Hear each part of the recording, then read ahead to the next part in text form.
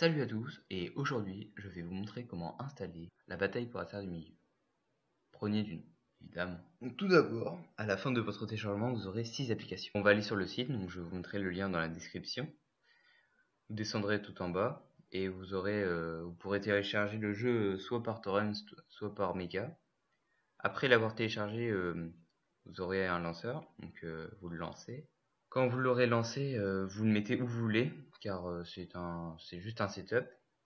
Dès que vous l'avez installé, vous lancez le setup et euh, ça vous l'installera automatiquement dans, dans le dossier en EA Games. Vous obtiendrez donc les six applications avec pour changer de patch, une pour changer le zoom, une pour changer la musique, une pour revoir ses parties mais ça ça marche pas très bien et euh, une pour le lancer le jeu. Avec vos amis, donc en local, car il n'y a plus de multijoueur.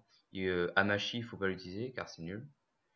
Et TeamViewer, c'est très bien. Donc euh, pour cela, il faut lancer le, pilote VPN.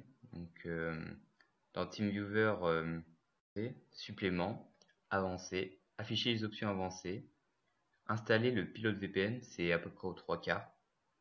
Une fois installé, bah c'est simple. Et sinon, vous avez euh, Game Ranger. C'est très simple d'utilisation. Il faut juste se créer un compte et euh, il y a des parties euh, tous les jours. Mais c'est quand même mieux de jouer avec vos amis. Et sinon, je vous dis à plus et bon game.